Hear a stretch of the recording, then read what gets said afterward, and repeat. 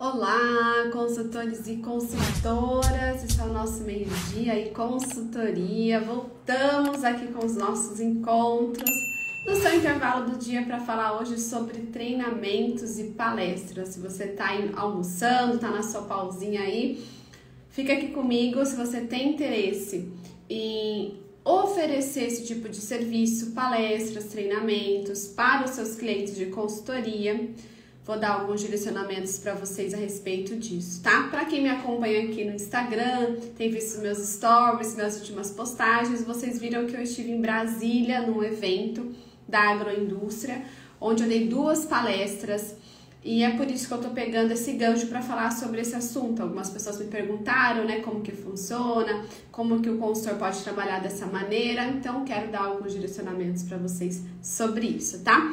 Me conta aqui de onde você é e também quero saber se você tem interesse nesse tipo de serviço, em dar treinamentos, dar palestras em diferentes tipos de eventos, em diferentes situações, que eu vou dar alguns exemplos aqui, tá bom? Deixa eu ver quem tá aqui comigo. Concursando aplicada, Biof Biofamoura, Tatiana, Cíntia, Gisele, Nutriquagliarelli os nomes difíceis, gente. Nutri Quagliarelli, Sândia, Naila, Rita, Ana, Carol, Trindade, Maria Gomes. Tudo bem com vocês, gente? Geroclean, Doces, Flávia, Coisa de Nutri, Nutricionista DF, Raul Santos, Mayra, Mônica, tudo bem, gente? Tavani Reis, Milena, Ana, a Jéssica. Sejam bem-vindos. Olha aí, a Kathleen tá aqui também. A Mandy, Gisele de Campina Grande. Sejam bem-vindos e bem-vindas ao meio de consultoria. Me conta aqui se você tem interesse em atuar com como consultor e que um dos seus serviços sejam então as palestras e os treinamentos, tá? Porque aí eu vou dar direcionamentos específicos para você que tem interesse nessa área. Tatiana de Mossoró, Andressa, olha só, a Lili da Barra dos Coqueiros, Flávia de Santa Catarina. Sejam bem-vindos, tá? Que bom estar com vocês aqui, começando essa semana juntos, falando de consultoria. É um prazer sempre dividir experiências e conhecimentos com vocês. E no nosso meio de consultoria eu tô sempre aprendendo com vocês também. A gente sempre troca muito aqui as nossas experiências, então eu gosto muito de estar ao vivo para poder interagir com vocês aqui, tá? Eu já tiro a sua dúvida, tá, Cíntia? Eu já falo sobre isso, tá bom? Então, vamos falar aqui do nosso tema, que é treinamentos e palestras, que é um assunto que despertou o interesse de algumas pessoas, depois que vocês me viram ali nesse evento, tá? Eu dou treinamentos e palestras em serviço de alimentação, em grandes empresas, em eventos, em faculdades. Então eu já treinei em lugares assim que vocês nunca imaginaram que isso seria um, um local para treinar, né? Eu já dei treinamento para donos de estabelecimentos de uma cidade inteira num teatro eu já dei treinamento na Câmara de Vereadores, eu já dei treinamentos em muitos lugares, assim, em igreja.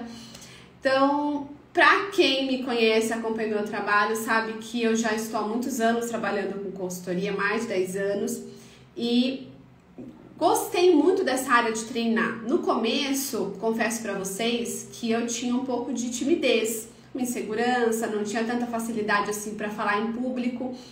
Mas eu percebi que era uma área que eu gostava, eu gostava de ensinar, gosto ainda, né? Mas falando lá do meu passado, eu gostava de ensinar, eu gostava de conversar com a equipe, orientar, trazer ali as informações para eles. E eu entendi que é uma área que eu precisava me capacitar, me especializar mais, precisava entender mais sobre como dar um treinamento, como ser didático, como ter uma boa oratória, como é, saber né, usar as palavras para que todo mundo entenda, ter uma boa comunicação e um bom posicionamento em palco, também uma boa interação com as pessoas. Então, sim, eu me capacitei para isso, justamente porque eu entendi que era uma área que eu gostaria muito de focar. Né? E aí depois eu comecei a dar treinamentos no Brasil inteiro para os meus próprios alunos, né? Não só para manipuladores de alimentos, né?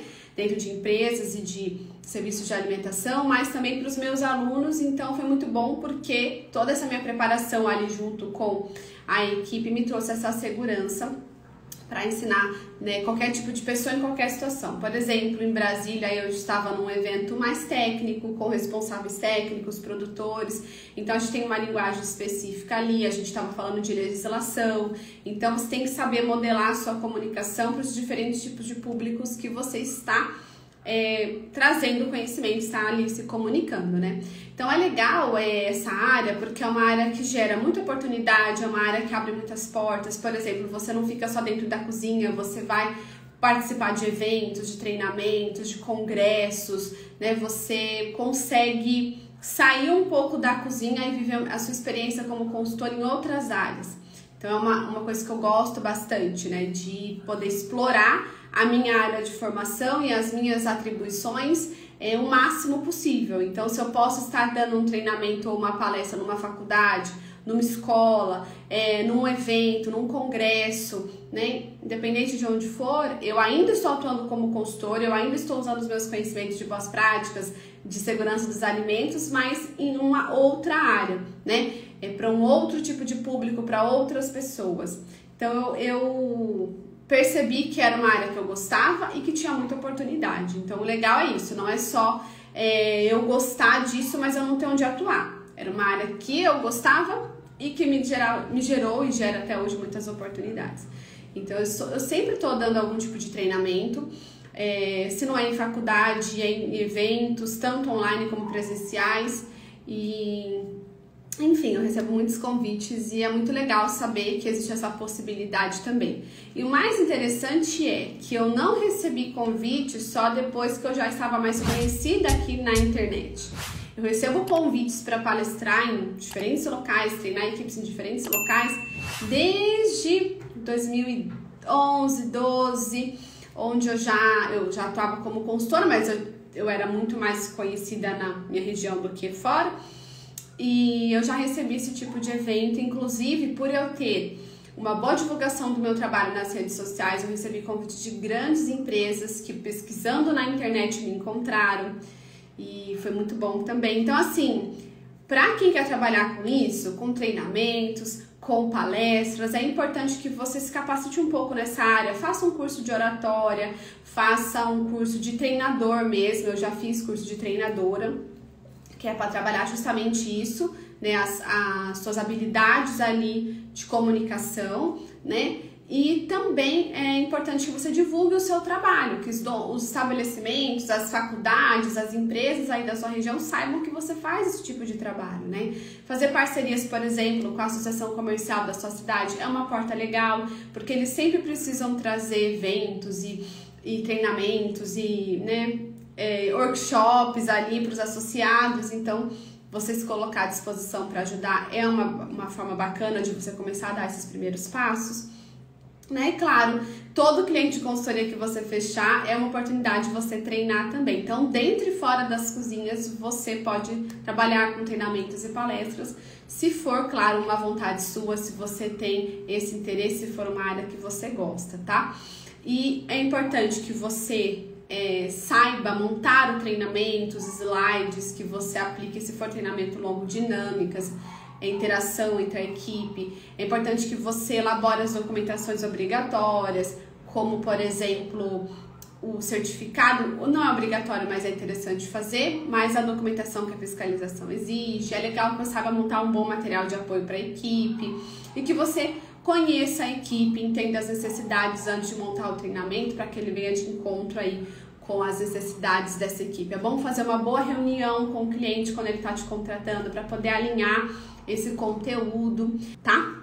Deixa eu ver a dúvida da nossa colega aqui, que eu não esqueci, da Cíntia. Tira uma dúvida na tabela de honorários, tem, eu acho que é assessoria, né? Com RT e CRT. É o mesmo que a pessoa fixa no local e sem é só indo às vezes? Na verdade, é... Cíntia, assessoria com responsabilidade técnica é quando você responde pelo local. Assessoria sem responsabilidade técnica é quando você visita o local sem responder pelo local. Não necessariamente você vai estar ali todos os dias, você é fixa ali, tá? Tudo depende do contrato, do que foi combinado com o seu cliente. O responsável técnico ele tem uma carga horária semanal para cumprir, que é definida pelo conselho. Então, quando você de, é, decide assumir um estabelecimento, né, responder por ele, você vai ter que solicitar ao conselho essa responsabilidade técnica para você então responder por esse local, cumprindo a carga horária que o conselho definiu. Como é, assessor, no caso, né, sem responsabilidade técnica, você vai combinar diretamente com o cliente a sua carga horária semanal, quantas visitas você vai fazer por semana, e você não responde pelo local, tá? Então a principal diferença é essa. Com, a, com responsabilidade técnica você responde, então se tiver qualquer falha em processos, em documentações, né, na, no preparo dos alimentos, você vai responder por isso. Sem responsabilidade técnica, você vai fazer todo o trabalho, mas você não responde por esse local, tá bom? Alguma dúvida, gente, sobre isso?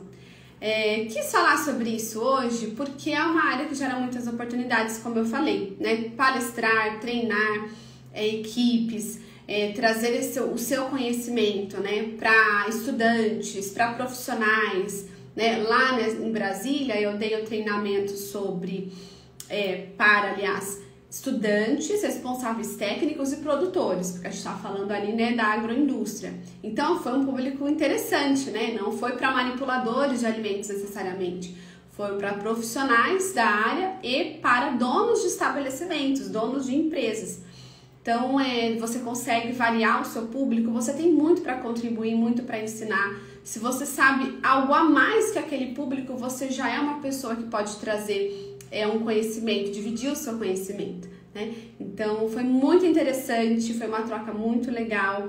Pude rever alunas lá, o que foi uma honra também encontrar as nossas alunas que são ali da região de Brasília. Agradeço todo o carinho, toda a receptividade que eu tive lá. Foi uma honra. E assim, é muito legal poder né, estar num local onde as pessoas têm interesse de aprender, querem ouvir né, o seu o seu conhecimento, querem aprender com você, e claro que você também aprende com elas. Né? Em todo evento a gente aprende muito, mas é uma área muito interessante de trabalhar. Então, se você tem interesse, eu te conheci nesse evento, foi muito válido. Que legal, tá vendo, gente? Ó, Ive, Andrade, seja bem-vindo à consultora de alimentos. Que bom que você está aqui com a gente. Que bom que eu pude contribuir aí com o seu crescimento profissional. O evento realmente foi muito legal, muito bem pensado, é um evento super necessário e que honra poder estar ali com vocês. Então, se você é um profissional da área de alimentos, tem interesse em trabalhar com isso, é, acho super válida, uma área super interessante, super recomendo. E quando você tiver na prática, você vai entender o que eu tô falando. É muito prazeroso poder dividir conhecimentos e crescer junto com aquele grupo que está ali aprendendo com você. Comprei seu livro, ansiosa para receber. Que legal, Gisele! O livro realmente é uma excelente ferramenta para quem quer atuar como consultor. No livro a gente fala passo a passo da consultoria. Você vai poder levar, Gisele, o livro com você nas suas consultorias e ele vai ser uma ferramenta essencial para os seus processos. Se você quer tirar dúvidas, se você precisa consultar uma planilha ou entender o processo, é só estar tá com o livro em mãos que ele vai te ajudar, tá bom? Tem dúvida aqui? Tem algumas dúvidas aqui, mas aí eu vou responder nos stories, tá? Quem me mandou dúvida na caixinha eu vou responder nos stories. Quero começar. Como começar? Lili, primeiro você precisa falar com o seu conselho para entender quais são suas atribuições profissionais como técnica em nutrição e dietética, tá? Entendendo isso, aí você vai decidir em que áreas você vai focar como profissional. Mas primeiro passo é entrar em contato com o seu conselho para que ele possa te orientar sobre as suas atribuições, tá? Quando terá nova turma de imersão? Te conheci agora e gostaria de entrar. Carol, eu não tenho uma previsão ainda, mas você pode deixar o seu nome na lista de espera, tá? A gente acabou de abrir uma turma que foi agora em julho. E nesse momento eu estou recebendo os alunos, conhecendo eles, eu acompanho meus alunos muito de perto, eu oriento, eu direciono. Então, nesse momento eu estou me dedicando a eles. Mas me chama aqui no direct, me passa aí o seu contato que a gente te coloca na lista de espera, te passa informações, se tiver a possibilidade de alguma vaga, a gente avisa você, tá bom? Mas me chama aqui, que aí a minha equipe vai entrar em contato com você e aí você tira as dúvidas, entende o curso e faz parte ali com a gente, tá bom?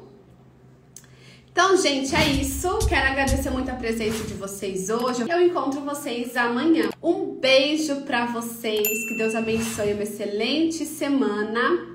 A gente se vê amanhã no meio de consultoria. Até lá!